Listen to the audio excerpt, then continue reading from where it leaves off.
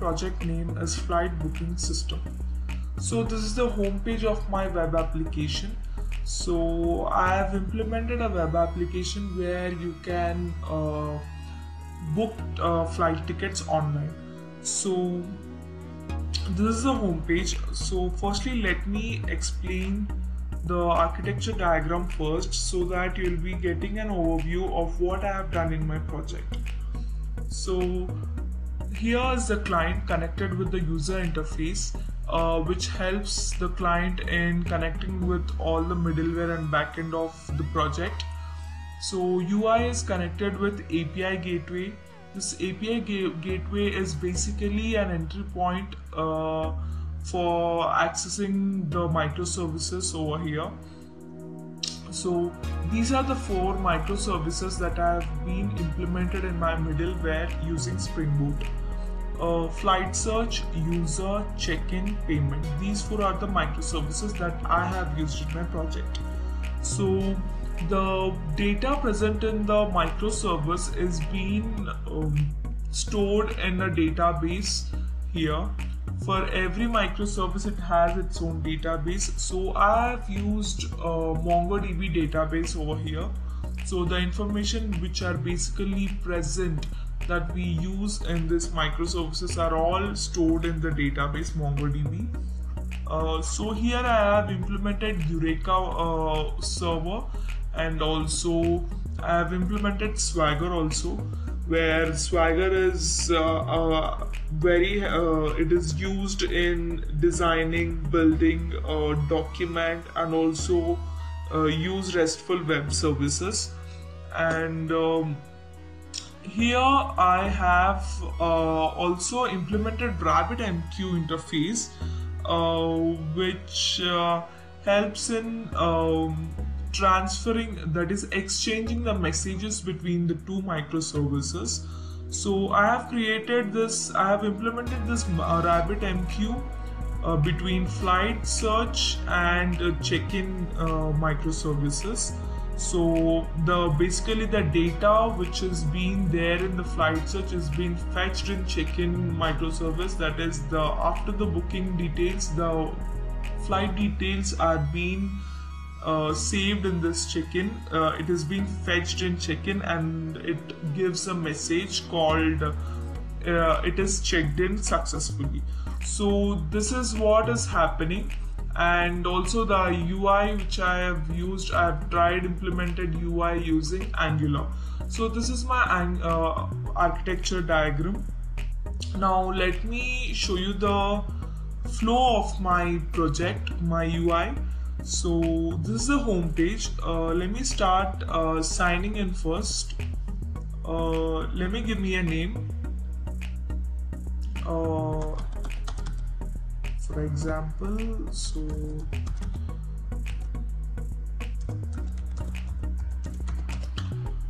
let me give me a password.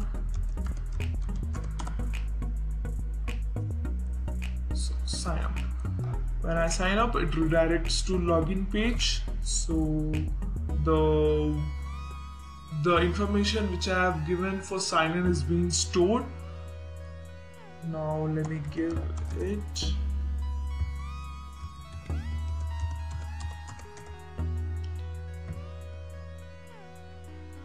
Login. So yeah. We have successfully logged, logged in and now let us search for the flights for booking purpose. So the origin destination and data. There are these three things and let me put some places over here.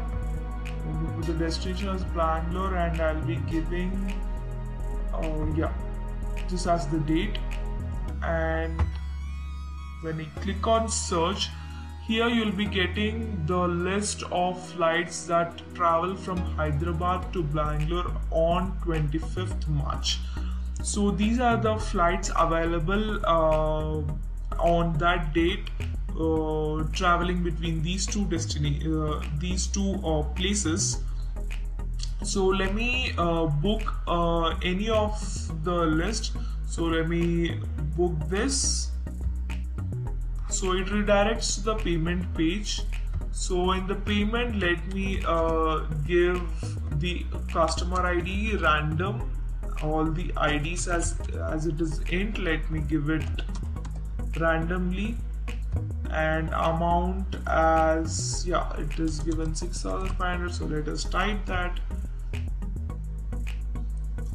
So this is a paytm page which uh, i have uh, connected to my payment microservice. Let me pay it. Successful. And here's a receipt of your payment.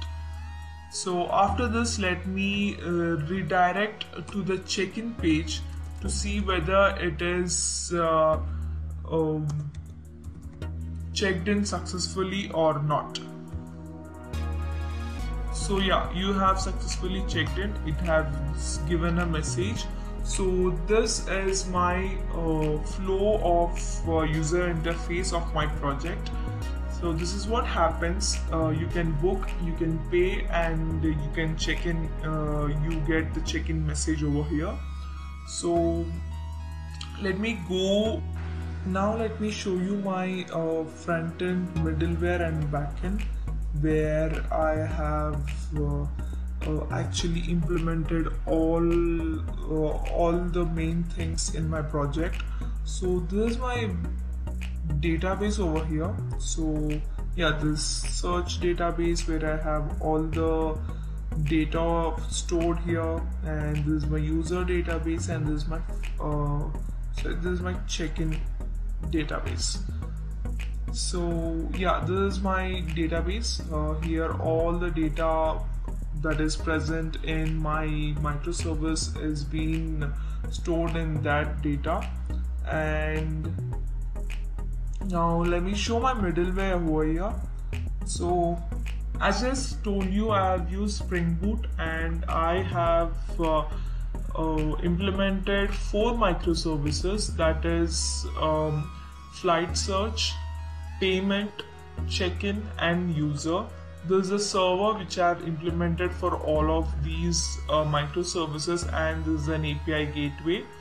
So in the uh, so mainly my main uh, project has a logic that you have to uh, I have to uh, fetch the details of the flight which travels from uh, so and so place to so and so place. So this I have done by giving a logic. I have given the if statement here saying that if the origin uh, origin there in the data and also the origin which I have given is same and if the destination is same and the flight date is same.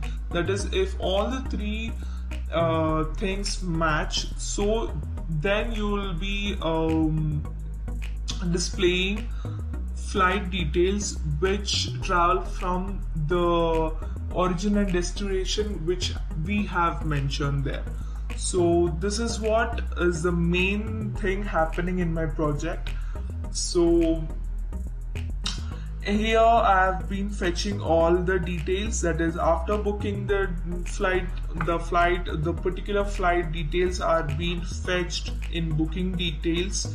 And this booking details is being uh, fetched in check-in also. So in this check-in uh, so as I told you I have used flight search here I have uh, used MC uh, MQ config and uh, I have used these micro uh, RabbitMQ over here and I have sent the message from flight search and check-in. So this is what is happening here and I have also implemented payment uh, microservice. Here as I've told you I have connected the Paytm uh, app with this uh, for uh, for payment purpose.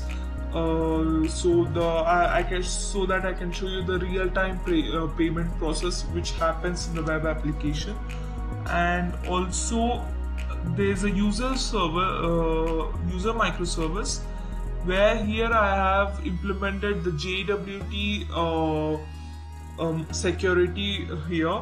So the login sign in which we have done in my uh, user interface is all uh, here. I have done it here. Here we have authorized we have authenticated and we have subscribed. All the things is being implemented in this microservice for mine. And um, there is a server. I have used uh, Eureka server and uh, there's an API gateway. And for all these um, microservices I have implemented Swagger uh, so that uh, it is very easy and it helps in design build and document uh, and, and many other services. So I have implemented Swagger over here so basically this is what these are the main things what what is happening in my uh, middleware. So let me show you my front end. That is I have used angular over here.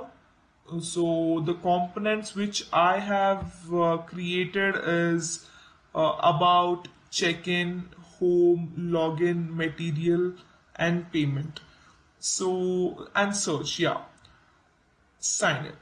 So all these things. So I've uh, just given some HTML codes for my uh, tabs, my forms and uh, uh mat cards. I've used material, Angular material, uh, and also the Bootstrap for implementing my user interface. So these are the main things which is happening here. So I've used forms, icons, uh, mat cards, buttons uh, and all. So this is what is happening in my uh, angular uh, thing. So yeah and there's an about extra component called about where you can see all the uh, information uh, information uh, about the web application. So here there's an about component where you can find uh, all the details uh, it says about the application. So this is what I have uh, created.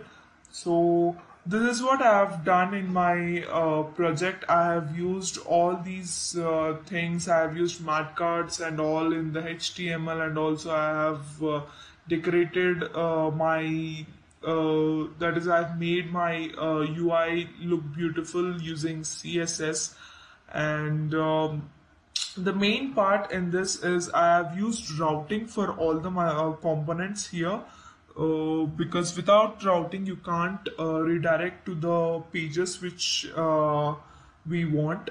So this is the main part where you it is the main part where uh, it is used to implement in the Angular.